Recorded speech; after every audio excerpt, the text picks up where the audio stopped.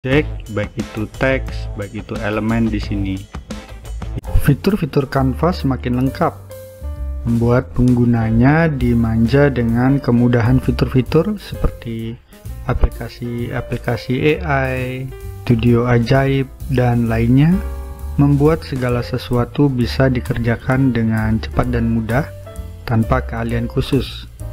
Simak video ini sampai akhir karena kita akan belajar Canva di tahun 2024 ini.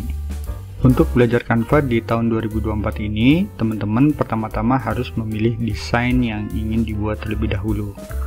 Di sini banyak sekali teman-teman ingin membuat dokumen, papan tulis, presentasi, apa pun itu ya. Jadi, yang pertama dilakukan adalah memilih desainnya. Contohnya di sini saya akan memilih media sosial. Saya akan pilih konten Instagram. Ini sebagai contoh ya.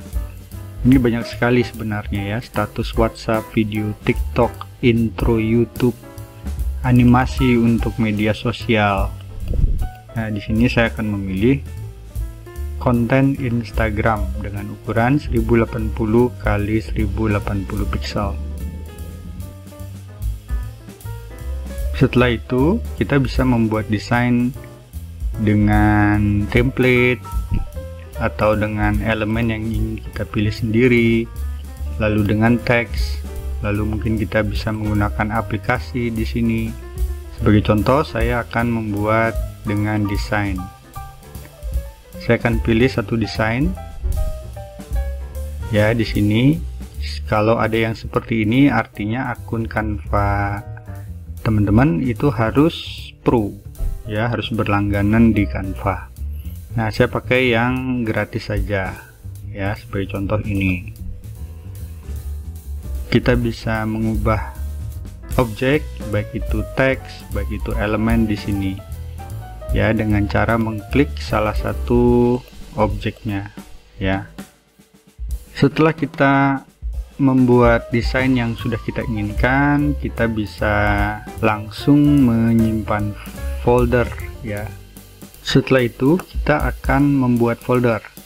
Kita klik filenya dulu ya lalu kita bisa membuat uh, folder atau kita simpan ke folder. Tapi sebelumnya kita harus membuat nama file dari desain kita. Contohnya di sini saya akan buat misalnya contoh desain belajar Canva seperti itu. Lalu kita simpan ke folder.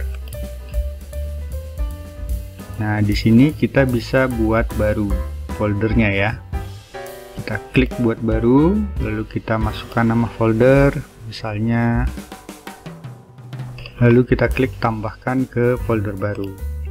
Otomatis file tersebut sudah tersimpan ke dalam folder yang sudah kita buat ya. Langkah selanjutnya kita akan mendownload file dengan format yang diinginkan. Karena ini Instagram maka kita akan simpan dengan uh, file format PNG atau JPG nah caranya adalah klik bagikan lalu bisa klik unduh di sini. Kita bisa pilih jenis filenya. Nah, di sini jenis filenya banyak ya, ada JPEG, PNG, PDF standar, cetak PDF, SVG, video MP4 dan GIF.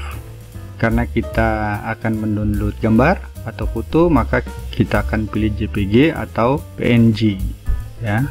Nah, kita ikuti yang disarankan yaitu PNG di sini, lalu klik unduh begitu ya. Kita kita bisa simpan di dalam folder kita di dalam uh, komputer kita ya. Ini file name-nya yang sudah kita buat tadi ya. Contoh desain belajar Canva. Kita bisa pilih folder tempat penyimpanannya lalu uh, kita save di sini. Ya ini bisa kita lihat hasilnya seperti ini